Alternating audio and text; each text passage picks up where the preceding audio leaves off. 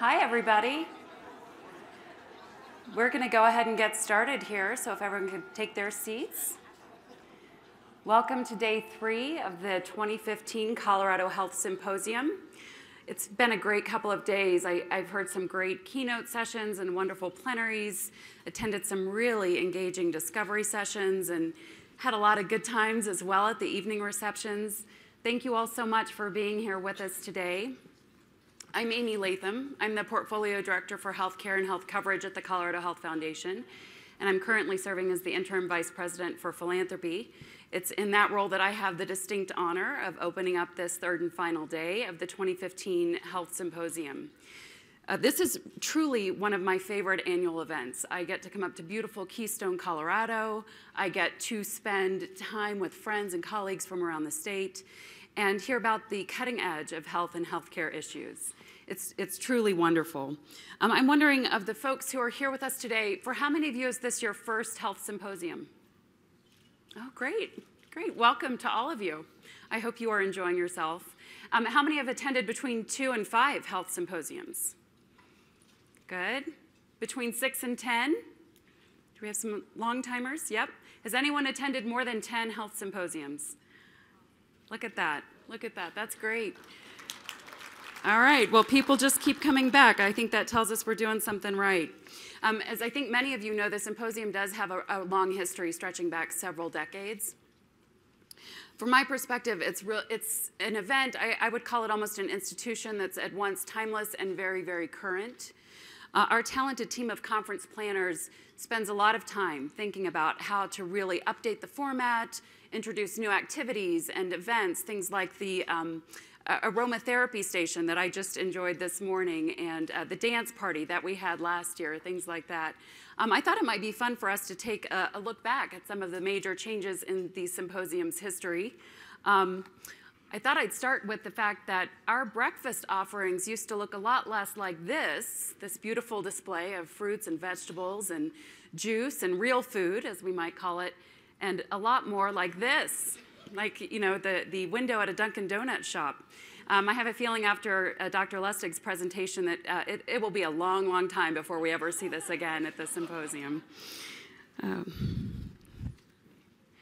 we, uh, in 2008, we moved from Beaver Creek to beautiful Keystone, Colorado. This was a major change in the symposium, and we made this change to make the event much more open and accessible and affordable to folks from all over the state, and it's worked really well. Attendance has increased from about 250 to well over 400. Um, so it, this was a very important change in our history. Um, Conference materials used to look like this. This is Joan Henneberry leafing through a four inch binder in front of her. I'm sure Joan still has that binder somewhere and probably refers to it regularly. Um, then conference materials looked like this. See this tiny thing right here? We used to hand this out.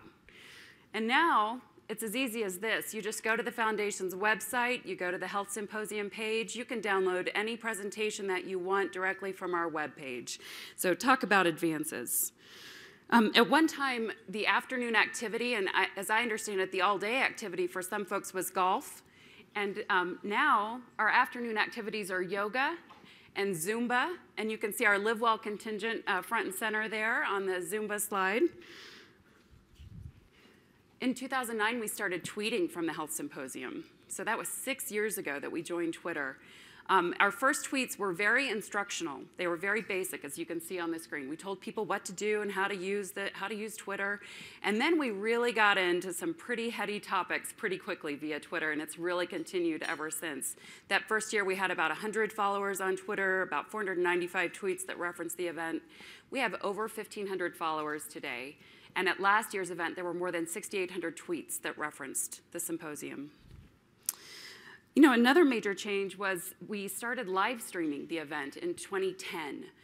And this was another move to really open access to the symposium, to the great content that we offer here, well beyond the four walls of this room. And it's worked um, just fantastically well.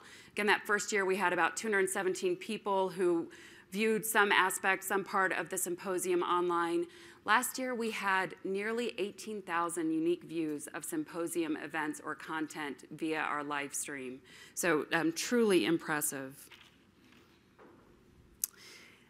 We presented the first Eigelhart Award in 2007. As you heard last night, this is really our way to recognize contributions to health and health policy in Colorado. And a huge congratulations to Governor Lamm for being honored last night.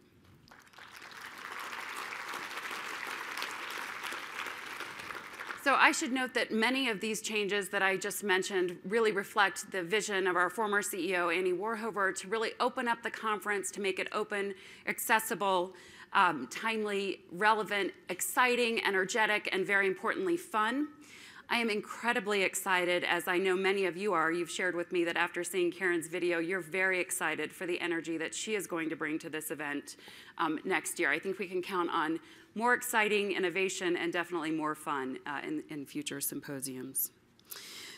So um, a couple of things have remained the same about the symposium over the year, and I thought I would just mention, you know, first and foremost, the incredibly high quality content. I just hear it again and again.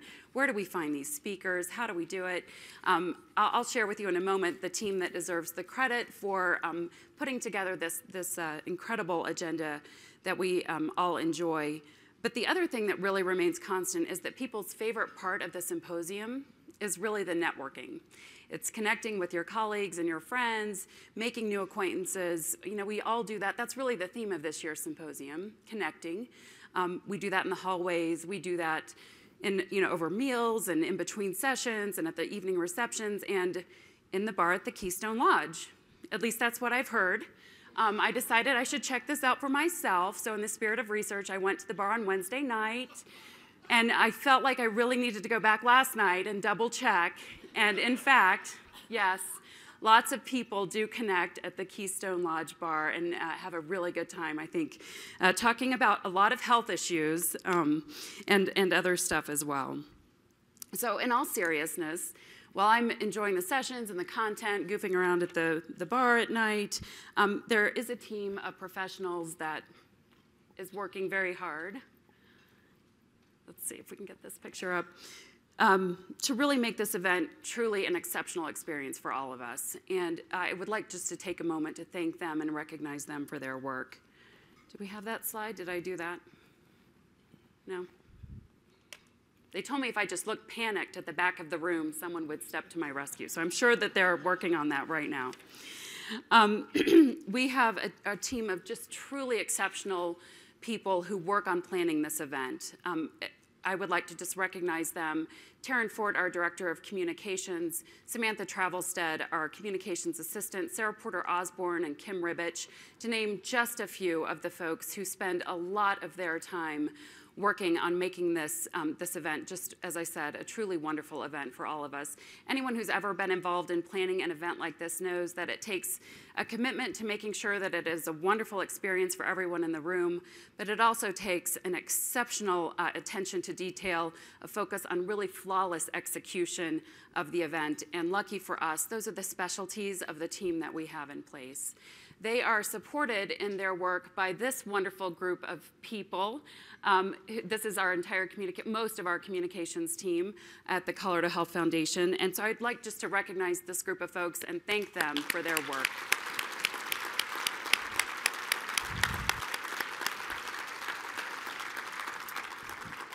They are supported in, um, in their effort by an even larger group of people. I'd like to recognize the entire staff of the Colorado Health Foundation. Um, if everyone who is wearing a red name badge, you're easily recognizable. All of the staff of the Colorado Health Foundation, if you could please stand and be recognized. They all play an important role. Thank you, thank you.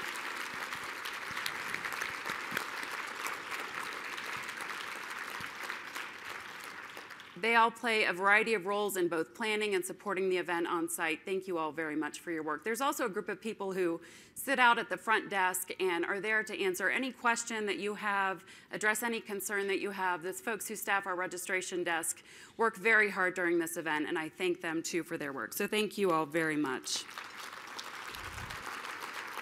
Okay, a couple more thank yous, and then we'll get on to the business of the day. I would li like to echo Ron's thanks to our board of directors for their leadership and commitment to this event, for their presence here. It's wonderful to have you all here. Thank you. And then finally, I'd like to thank Ron Porter, our wonderful interim CEO. I know he probably does not want to be recognized up here from the podium, but too bad. Um, thank you so much for keeping us focused and energized over the last several months. And um, thank you for your leadership, which has been inspirational to so many of us. Thanks, Ron. Okay, that was a lot of thank yous. I have just one more. Thank you all so much for being here with us today for the past couple of days. It's your insights, it's your expertise, it's what you share with us and with each other that really sets this event apart from the rest. So thank you all very much. So we are, we are approaching our final morning of the symposium. It's going to be an excellent one. Um, we're um, about a couple hours away from heading back down the mountain, hopefully reinvigorated by all of the ideas and the interactions that we've had here together. Um, but first, we're going to spend some time talking about connecting values to action, and this is an incredibly important topic. Uh, as we think about this morning's sessions, I'd like to suggest that seeing the connections between all beings is really a value in and of itself. And I'd like to share a quote from Dr. Martin Luther King. We've shared a lot of quotes over the past couple days, who said that all of life is interrelated. We're all caught in an inescapable network of mutuality, tied into a single garment of destiny. Whatever affects one destiny affects all of us indirectly. This morning's session will be moderated by Michael Booth. Michael is an award winning journalist, well known to many